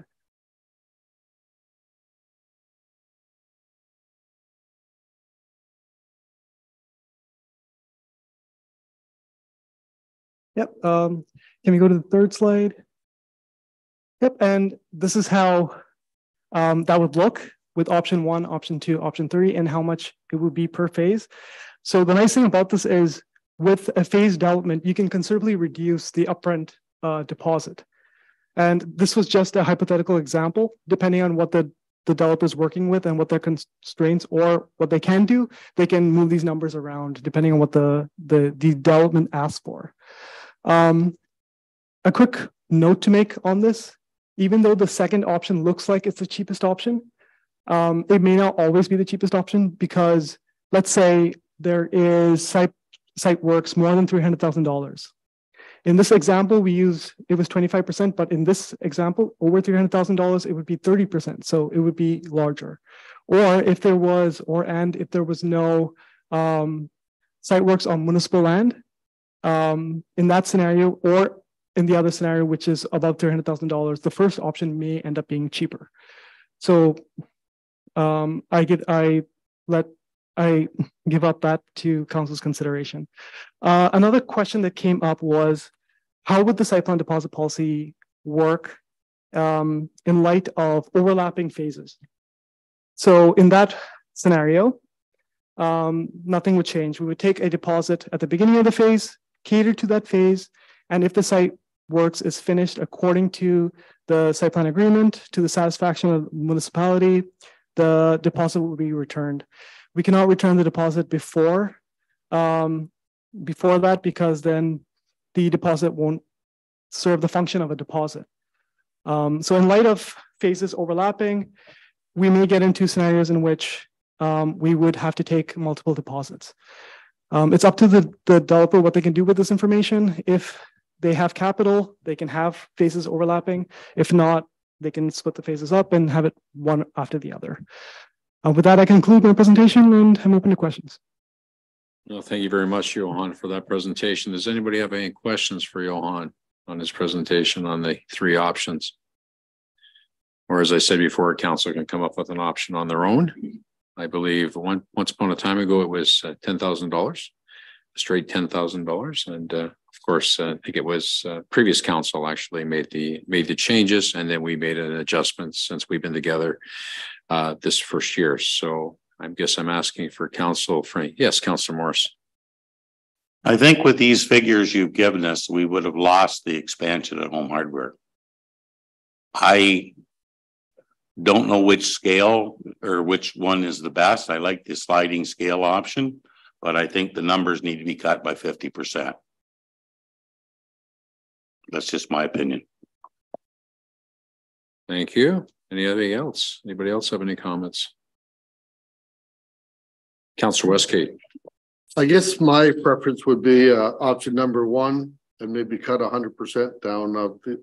Uh, that hundred percent down a little bit. I don't know whether we need a hundred percent of what work's done on our uh. Property for site works and stuff, but we know they're gonna have to tie in the sewers and stuff and and repair everything, the curbs and stuff. It's gonna have to be done before they can go on there. Do we really need to have hundred percent of their money tied up? Thank you very much. Anybody else have any comments? And I'll either ask Johan or Ken to maybe address some of those comments. Anybody else have any comments? Yes, Deputy Mayor? I would agree with uh Jerry on that as well. I think that number's a little high. I do like option one, but uh I think the municipal property value is a little high. Very good. Thank you. Anybody else? Yes, Councilor Manning. Yeah, I, I'm exactly in agreement with everybody on that. I think the rate of hundred percent is way too high. It's a lot of capital for any investor to have sitting idle while they're waiting, no matter what phase the project is. I think we would uh really, really scare off a lot of investors with that rate. Thank you, Councilor Manning. Okay, I'll throw it over to uh Ken or Johan. I'll let you guys decide who's going to speak to it and uh, maybe address some of these comments. Ken, is it going to be you? Um, perhaps Ken. I'll start your worship. if Thank that's you. okay, Nope. and then Thank you very much. Johan can, can jump in. Um, so council, I'm, I'm going back to the original report um, that Johan submitted in terms of the um, sliding scale, or sorry, cost percentage option. I'm gonna start with Counselor Westgate's concerns and then I'll, I'll jump over to Counselor Morris's. So what was proposed and, and Johan will, will jump at me if I get this wrong, but I'm going from, from the report. So projects that were under fifty thousand dollars in value of all works, regardless of whether public or private. It was recommended to be twenty percent of the total cost of, of those works to a maximum of ten thousand dollars. So that was, sorry, Johan, did I get that wrong? Um, that was a sliding scale option. Oh, I'm sorry, did I jump ahead of one? Uh.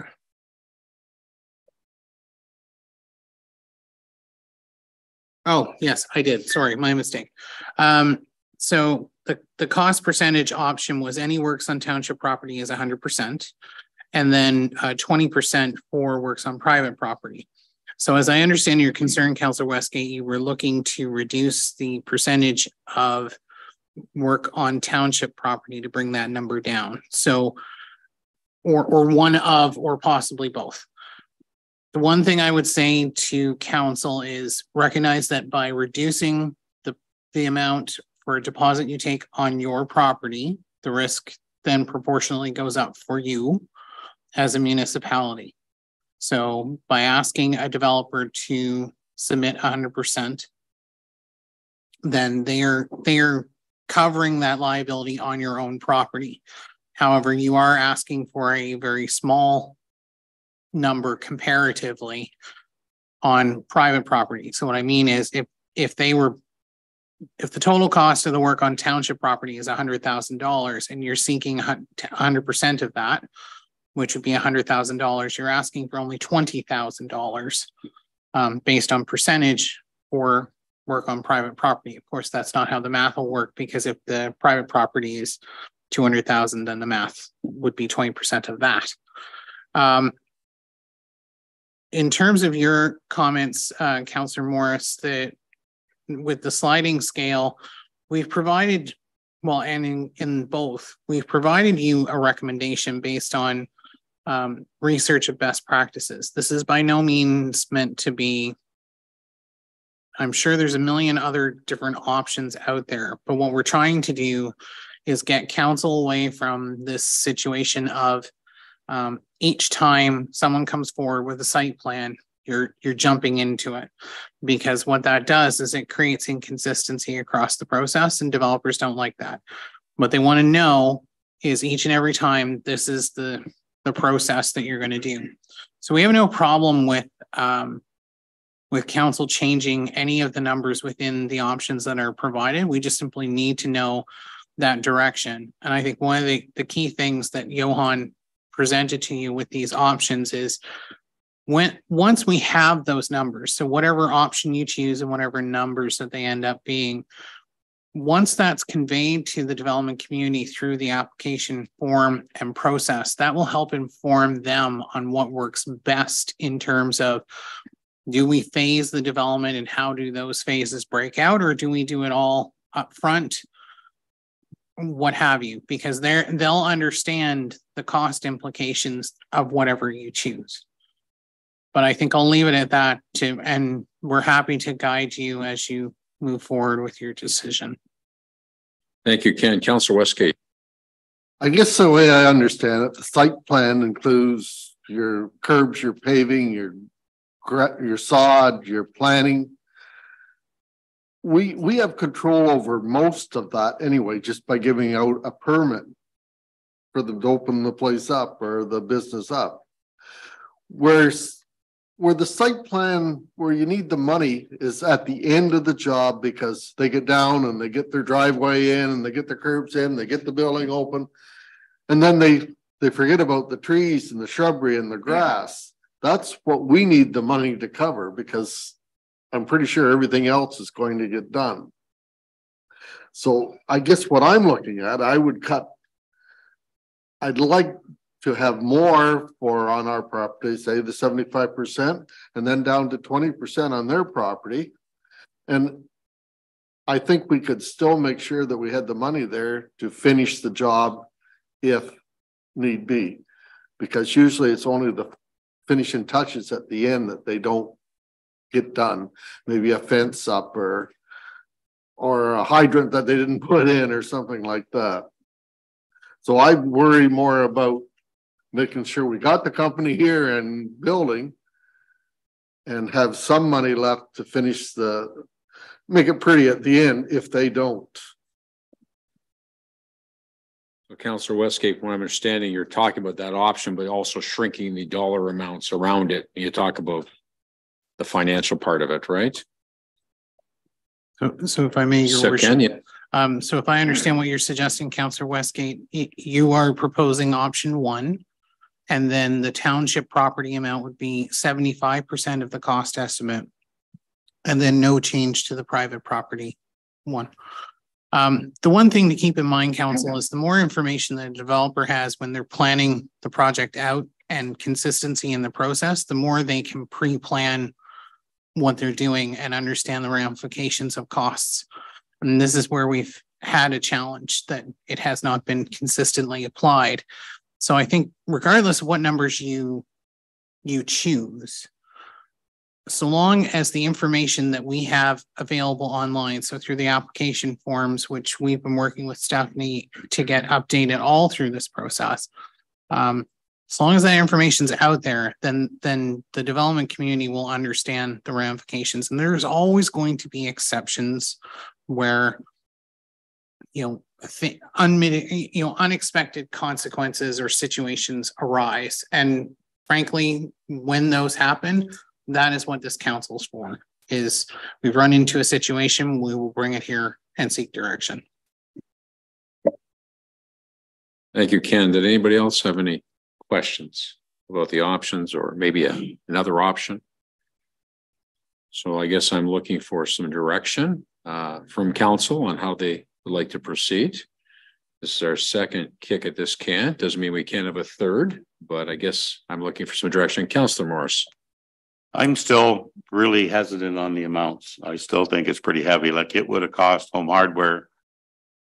I think if I read this right, hundred and six thousand, as Jerry said, lowering the township point from hundred to seventy-five would help a little bit, but I don't think the project would have went. And I don't want to lose any projects.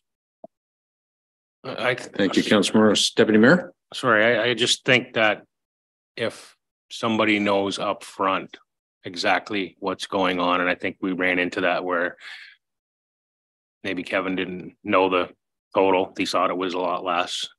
He may or may not have proceeded, but I think if a developer knows upfront what it is and it's clear and consistent every time, and that's the first piece of paper they get when they come in for a site plan approval, then they're gonna make their decision up pretty quick.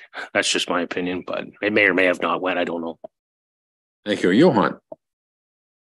To your worship, um, yep, clarity was a major issue in these, these, um, um, in both of those developments. But in the Kevin Karras scenario, if it was phased properly and if the site works were split amongst the phases, that big amount wouldn't be that big amount. It would be split amongst those phases. Yep. Thank you, Johan. Anybody else? Yes, Councilor Westgate. One other thing, the site work or most of the site work is the first thing done. So when they get three quarters of it done, they could ask for more money back. So the money's not tied up for the whole project either. Am I right?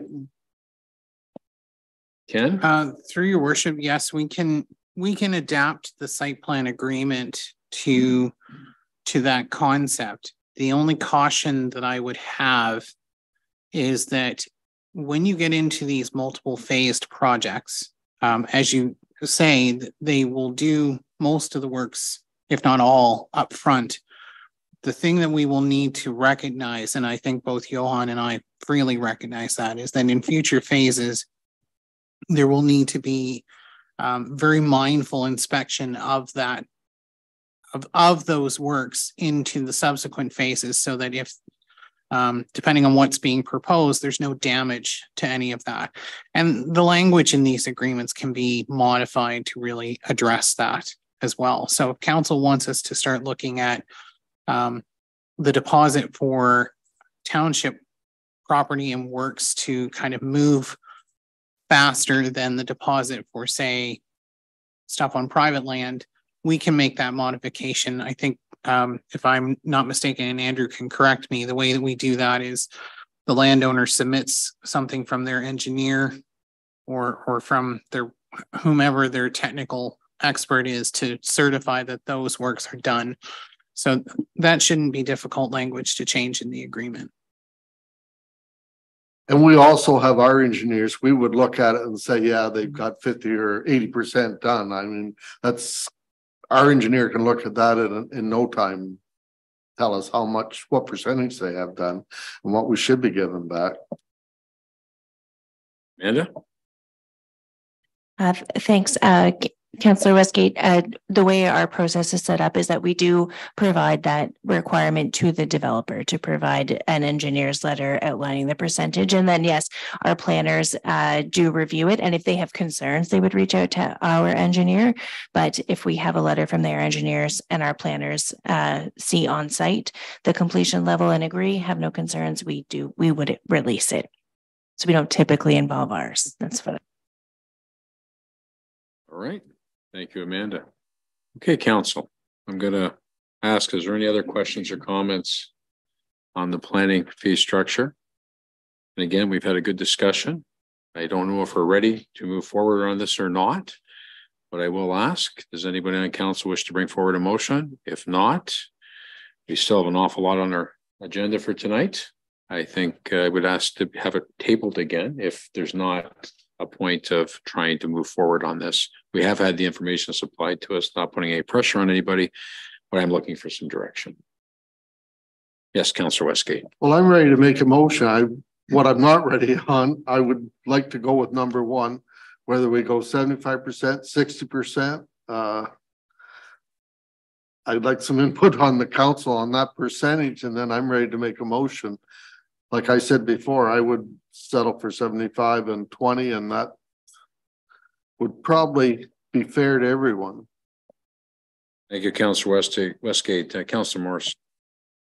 Okay, so if we went with number one, which is fine with me. The township property part is, is, how, how much of the project is that, like?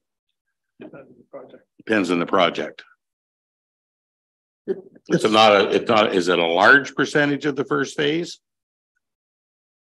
On most phases, that's just to put curbs in, tie in your sewers and do the boulevards. Okay. Uh, your shrubbery and everything is usually in on their property. Water hydrants inside on their property would be on their property. So it would be maybe on most jobs, maybe twenty-five or thirty percent of Okay, the site plan work. Now, we're not talking the whole project, we're just talking site plan costs here. And we've talked about the, uh, we've talked about the phased, the phased in approach where once work is done, as Counselor Westgate has laid out. The option is for the developer to ask for portions of their money back, uh, along with, a- as, as long as they provide a letter from their engineer. Um, outlining the request and the merit of the request, so.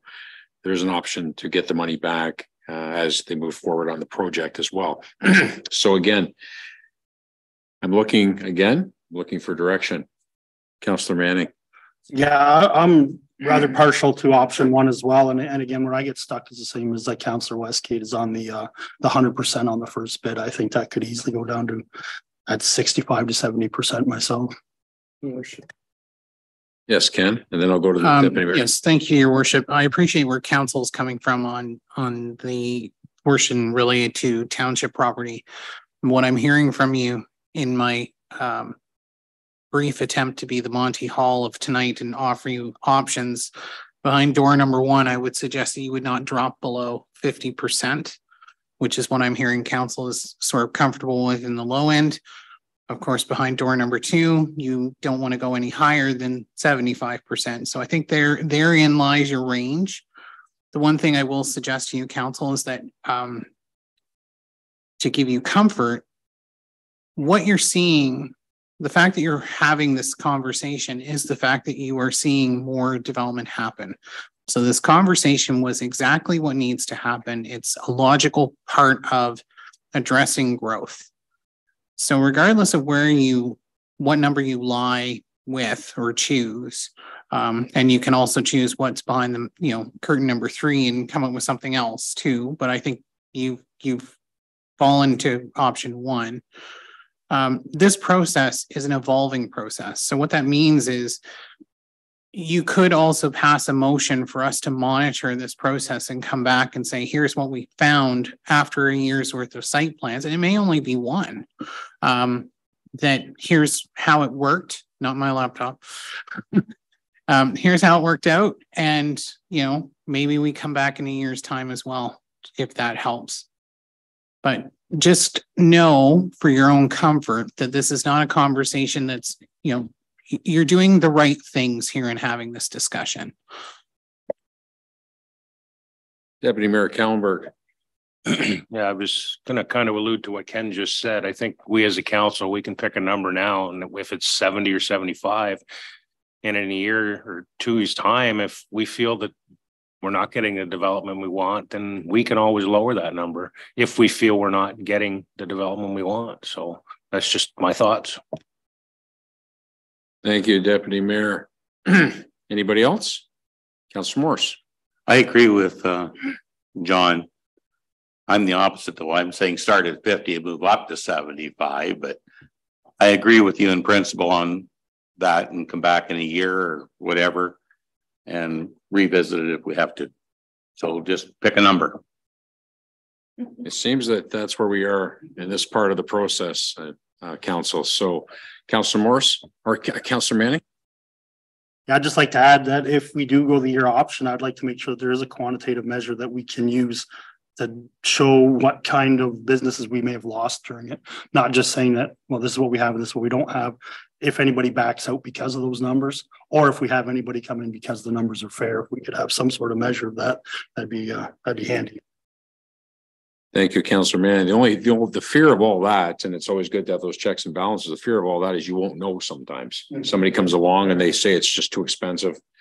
And uh, we're not going to, we're not going to bother. And I think that's the fear that we all have to a certain point, that we don't want to lose something because the price is too high. But on the other side, you got to have those, they got to have those measures in place uh, to protect the municipality um, at the end of the day. But what I do like about what we've talked about today is that uh, as a developer moves forward, as Councillor Westgate said, and they get A, B done and say there's A, B, and C to be done through that whole, that whole, um, that whole, that whole thing, A and B are done, they're refunded their money with a letter from their engineer as they go, as they meet those merit points uh, during the project. So there is a way for them to get their money back quicker. They don't have to wait right till the end, or they've got a seven thousand dollar um, landscaping piece that's not done. And they're, we're still sitting on a hundred thousand dollars of their money. They would have ninety thousand dollars of that money back, or whatever the case may be. And it would be just the last piece they'd be looking for. So I'm comfortable with that part of the process. Councillor Westgate. I'd like to make a motion that we go with option one, 70 percent for on township property, the twenty percent on private property. If, and this is away from the motion, but if we have a developer come in and they talk to Ken and say, oh, we're not gonna do it if it's gonna cost us this much, they have the right to come to council and ask for a reduction in it.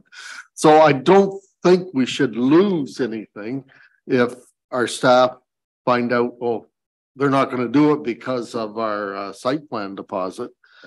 We can probably work something out with them, so we do not lose. Uh, tenant or customer or. Billing. So I'll make the motion that we go with number one. Would I say seventy and twenty? I think you said 70.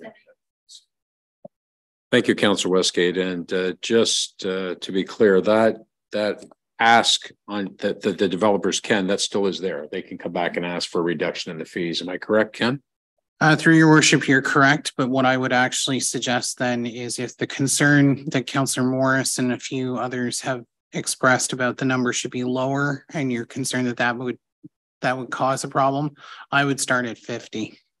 And then move, move up, but that, that would just be my, my suggestion. I defer to council.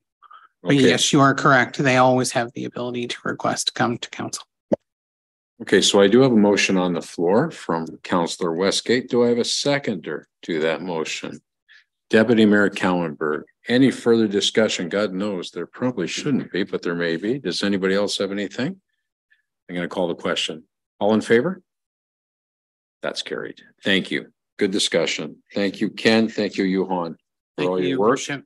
Um, We if I could just make one point before we go. Sure. I just wanted to draw the council's attention. Uh, and I hate to put Johan on the spot, but, um, as you know, Johan is the newest member of the team. This was also his first major project presenting in front of a council. Both tonight and the previous evening. So just wanted to make council aware of that. Yes, thanks, thanks, Ken. Actually, after the last meeting we had, I did uh talk to Johan and Johan and told him how good a job he did do, and we really did appreciate that. And he's very thorough on this process and this, on this particular piece of business as well. So we think, we, we think we might want to keep him, Ken. So we'll just, we'll just put that out there. And you brought up the subject, Ken, so thank you very much, gentlemen. I appreciate it. Thank you. Okay, council, let's go on to uh thirteen G if we could, please, and that's the pickup truck tender. And there is a recommendation on that. How does council wish to deal with uh thirteen G? There's a recommendation. Counselor Morris. I make a motion to accept the recommendation if they're needed. That's a good price and buying them local. Thank you, Counselor. Seconded by Counselor Manning. Further discussion? All in favor? That's carried. Thank you. Yeah, we might end up being paying for those next year, but like hopefully we get them sooner. Okay, let's go to, uh, let's go to thirteen H and that's, uh, a public uh, works update, um, uh, from Andrew. And there's also a motion to receive and file, but we'll get him to maybe highlight. Andrew? Thank you, Mayor Case. Um, I'd like to uh, go through the report and identify a few key items. Um, so in the uh, road operations, this time of year, it's standard operation, um, standard maintenance procedures, and of course, there's some uh, seasonal uh, operations that that come this time of year every year. Uh, I, am not going to go into detail for everyone. Um, drainage items, as you can see, the last few reports, I've been including a table with all of our construction drains. So that includes section four, uh, so new drains and section 78. So that's uh, uh, an improvement to an existing drain. So they're all listed there when the petition or um, uh, request for improvement was filed, uh, current status, and then next steps. So that's all the drains uh, that are happening through the township. And then, of course, there's various maintenance drains where um, don't require a section four, section 78. Um, I don't list them individually because they're kind of ongoing. Um, I've also listed in a table, so you'll see down 22, uh, 2022 projects. So these are projects that were in the 2022 uh, budget and have carried over to this year. Um, and then we move on to the next table that include all of the 2023 capital projects. Uh, and I'd like to identify um, a, a, couple, a few of them within that table, uh, and ex- as well as one in the 2022 table. Um, so the first one I, I want to draw the attention to is the uh, Nauvoo and Confederate Confederation Line um, intersection project. Um, so just a little bit of history on that project. It was initiated by council in May of 2019, where uh, uh, council directed staff to initiate conversations with the Lambton Public Works Department on the potential scope of uh, reconfiguration of the intersection, including obtaining a traffic study needs at the intersection, which was done. Um, this study concluded that within a five-year horizon, lane widening of all approaches uh, to accommodate a through right lane and exclusive left turn lane be selected as the preferred functional design uh, alternative. Um, traffic lights were not recommended at the time of the study, which was June 2020. However, at any time, council has the right to, to make whatever decision they feel appropriate. And as part of the design, we've made the decision to plumb in the lights, so to speak, where there'll be conduit underneath the lane. So if council at any time or if conditions warrant, uh, traffic lights could be installed at that location. Um, so in 2021, there was $25,000 added to the, the budget for engineering. And of course, uh, following the next year, an engineering firm was selected um, called BT Engineering uh, for the design firm that would be uh, carrying out the design.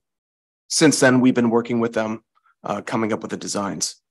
Um, if you uh, then go to the attachment within the report, uh, it, it, gives you a snapshot of the intersection, uh, notably drawing, it's called H or HV01 and HV02. So those are the drawings. I'll give you a second to fire those up. I will note that north is to the right, which means up is to the west. So if you can wrap yourself around that, um, you'll see that on the second illustration on that page, that is the most northerly leg. And note that it's all barrier curb. It's barrier curb from the intersection heading north all the way to Grogan's first uh, entrance into their business. On the next page, so, so that's labeled HV 02. Um, that shows north is up. So it's it's kind of illustrating the leg, the westerly leg that's in front of Lambton Mutual. You'll also note that is it's also barrier curb, which uh, barrier curb does not allow any parking. Um, and uh, you know there's added safety factors for for pedestrians. So I did want to uh, to point that out as well. We do have some uh, sanitary installation that will allow for future expansion. So to prevent having to rip up the intersection if and when we require the expansion uh, to go through the intersection.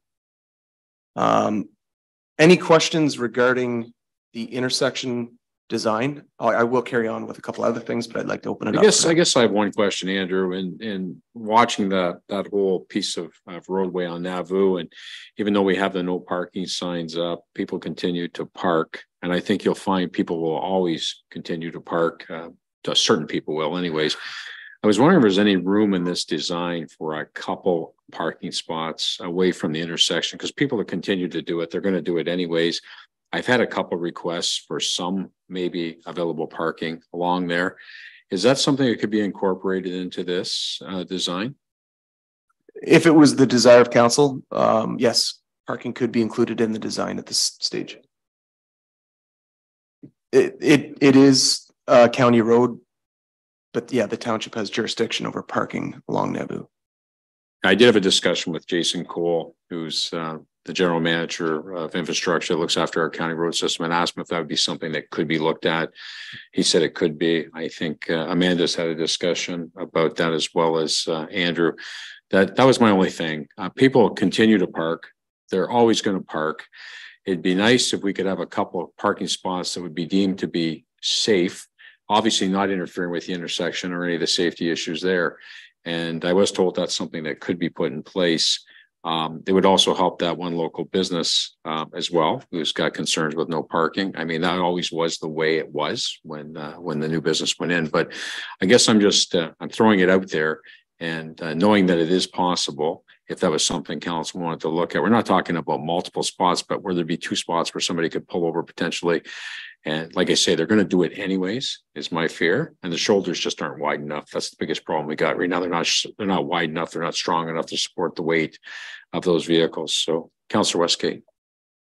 Yeah, I'm not so sure it's the problem with the shoulders holding the weight. It's the problem with the sight line along there.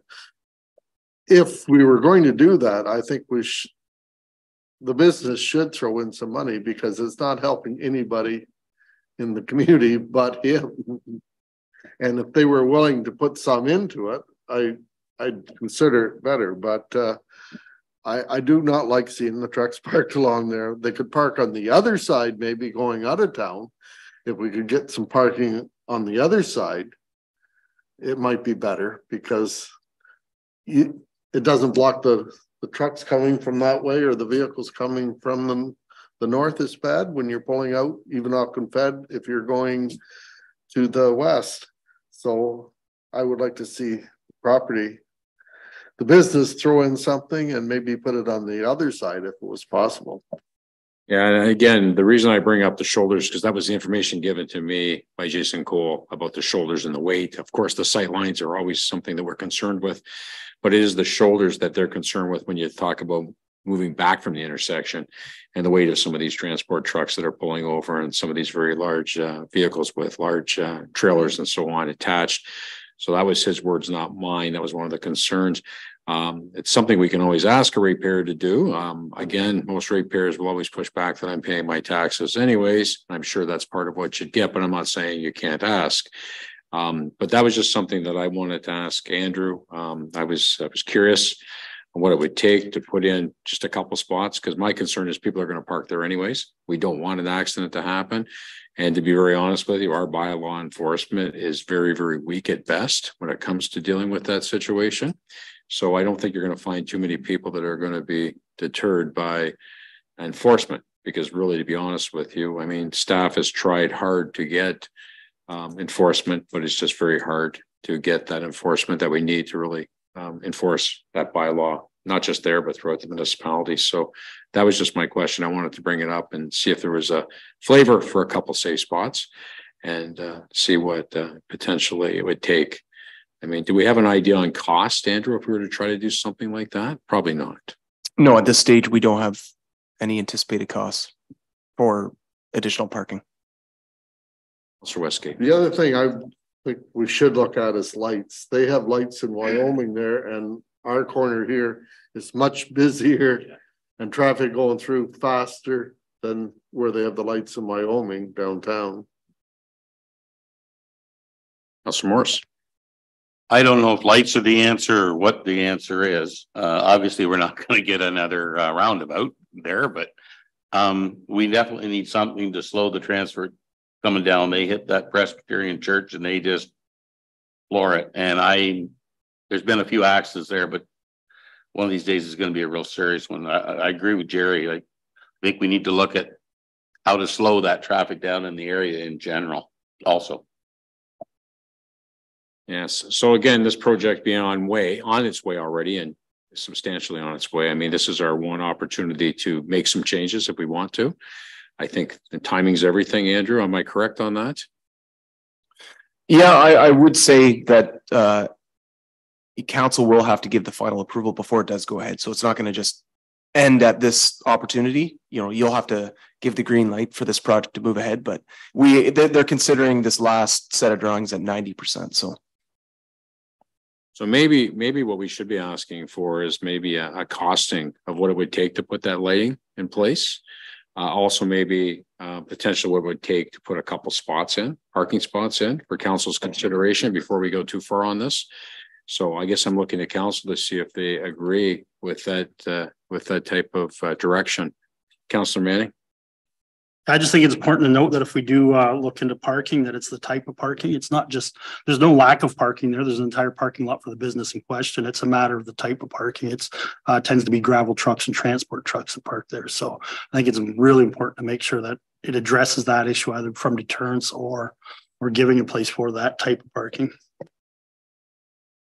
Very, very good point, Counselor.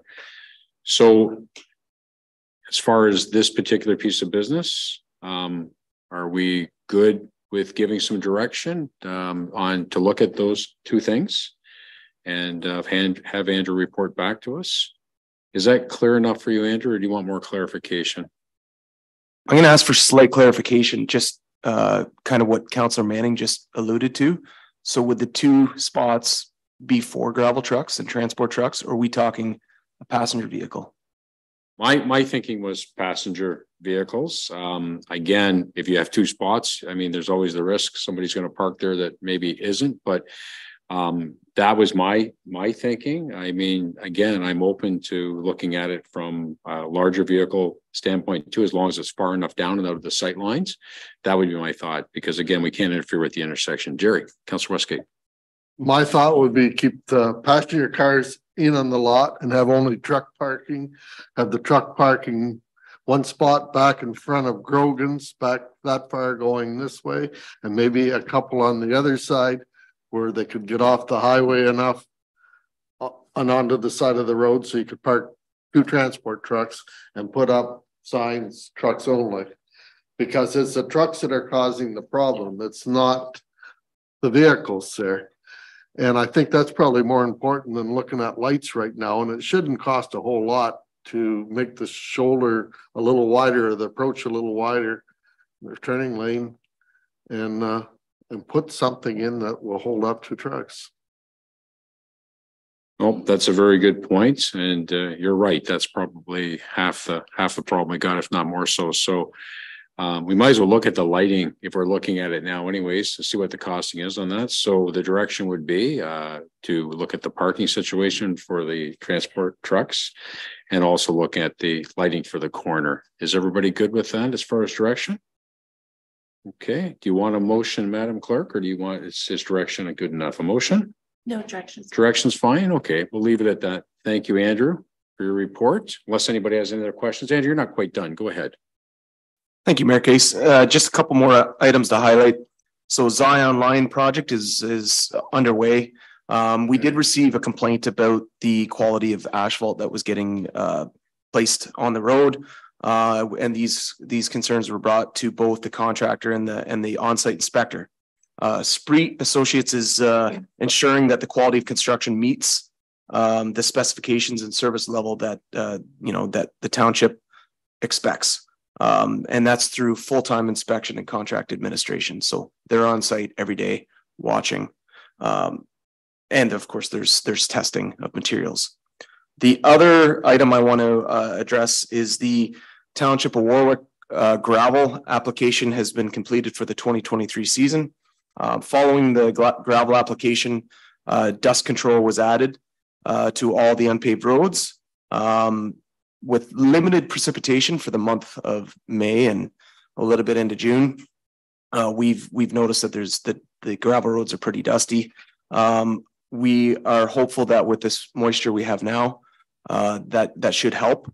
Um, um, uh, but I want to add that the township has exhausted all the allocated budget uh, for dust control this season. And if council want wished to explore additional applications, um, direction be required. Uh, I'll also add that um, calcium, the dust, the dust, dust control application does require moisture in the road. So if you're going to add a second, if if they directed Public Works to put a second application, you would need moisture in the road. So it may not solve the issue. And uh, I'll open it up for questions. Well, thank you, Andrew. Any questions for Andrew and his report? They're good shape. Yeah, uh, I've traveled a lot of them in the last, for one job touring around and our roads are in a lot better shape than some of our neighbors. Um, I think hopefully the rain will make the dust control work because it is dusty. But part of the reason is like anybody else, you put it right down the middle of the road. So the, for the longest time, people are driving with one wheel in the ditch and on the, so they don't drive their car through the calcium. So that's been a lot of the dust I've noticed on first school, but now it's sealed or whatever. They're just driving and the dust control hasn't been as bad. Or the dust hasn't been as bad. Anybody else have any questions for Andrew? Yes, Jerry or Councilor West. I just have one other question. On, we're putting a lot of guardrails in. I've had some farmers complain that, you know, they can't get equipment down and they're more of a deterrent. Are, are there, uh, regulations where we need to put them in or or what do I tell the farmers when we, when they tell, ask me this?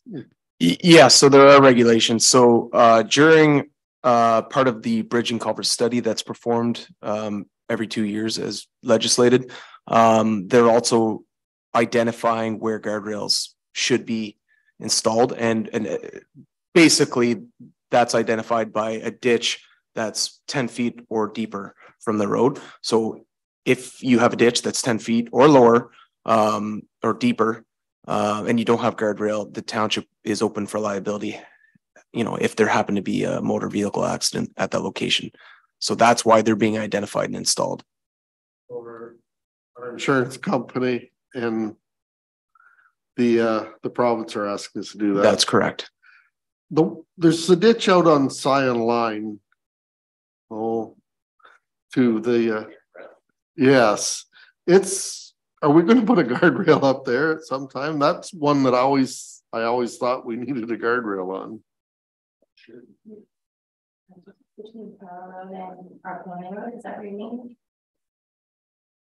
Is that is the current situation where it's really narrow now?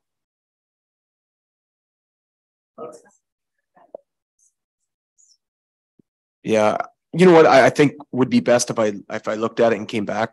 Um, I'm pretty sure that's identified, but I wouldn't want to misspeak. I'm quite sure it would have been identified, but it's fairly deep down into that ditch there and there's a concrete curb up on each side. Like. If we're gonna put guardrails up, I think that road's traveled more than a lot and that one could use one.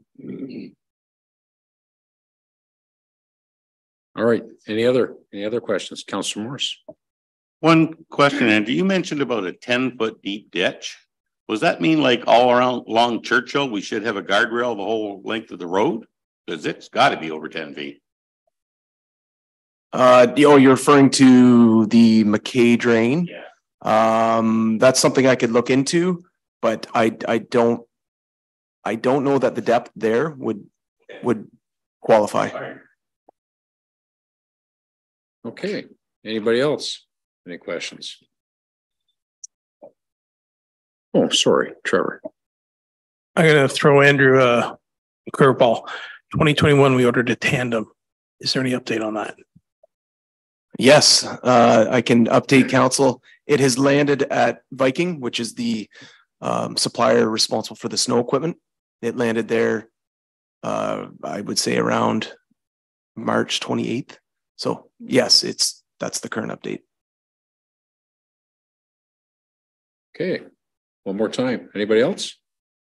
Great. Well, thank you for your report, Andrew, and uh, we're all thanking the good Lord himself for the rain that we got, and we're hoping that uh, that that's going to help uh, cut down on some of those dusty roads because we were all getting lots of complaints on that. And maybe in the future, uh, in future budgets, maybe we're going to have to look with the continuing changes in weather patterns and everything, maybe take a look and see uh, what we allocate in the budget for for dust control into the future. Maybe, maybe sometimes um, allowing enough for maybe two applications in the budget, just something that we maybe have to discuss in times uh, coming forward. Because again, if you live on a live on a rural road, there's nothing worse than that dust. I know you always expect a certain amount, but uh, it can be an awful nasty situation when you get into these dry spells. So thank you very much for your report. I appreciate it. And uh, we'll move on. So uh, motion to receive and file the report itself. Thank you, Councillor Morris, seconded by Councillor Westgate. All in favor? Perfect. Thank you, Andrew. Okay. Geez, Andrew, you're not going too far, are you? So we're going to go to I, and that's the Birnam Line asphalt replacement. And there's a recommendation there um, for council's consideration. Anybody have any questions or comments before we look at the recommendation? If not, we have a recommendation before you to consider. Council. Deputy Mayor.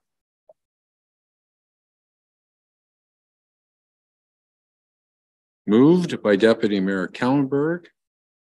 Seconded by Councillor Manning. Further discussion? All in favor? That's carried. Thank you. Okay, let's go down to um, J. This is a culvert 41.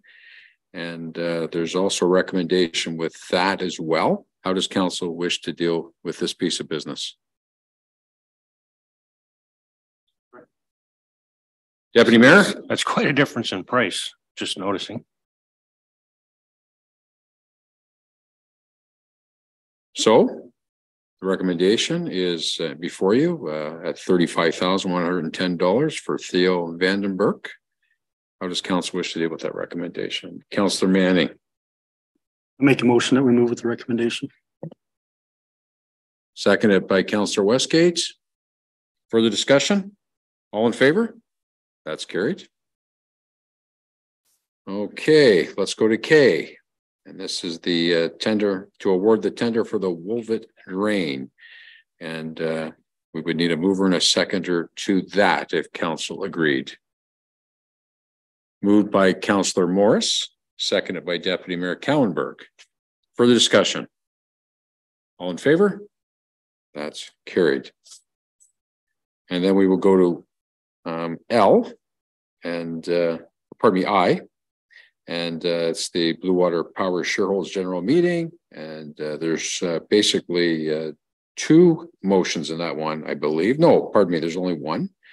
I would be looking for a mover and a seconder to that unless there's any questions.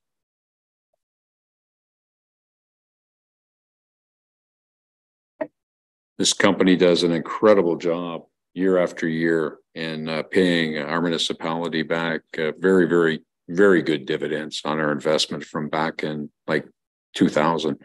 So uh, it's a, it's an incredible it's an incredible experience for us, and they do a great job. So this is basically just uh, uh, basically it's uh, us saying that we agree with what they're doing and to carry on and uh, to keep Mr. Goodhill as our um, minority shareholder representative.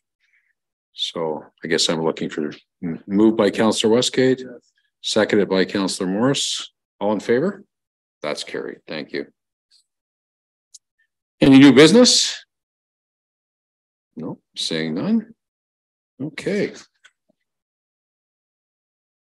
So I'm looking for a motion to move to in camera pursuant to section two thirty-nine of the Municipal Act, two thousand and one to deal with two, six, nine, and eleven of the act. Moved by Deputy Mayor Kallenberg, seconded by Councillor Manning. All in favor, and now we will let the public know that we will now be going in camera, and this will end the public portion of our meeting. Thank you very much for tuning in.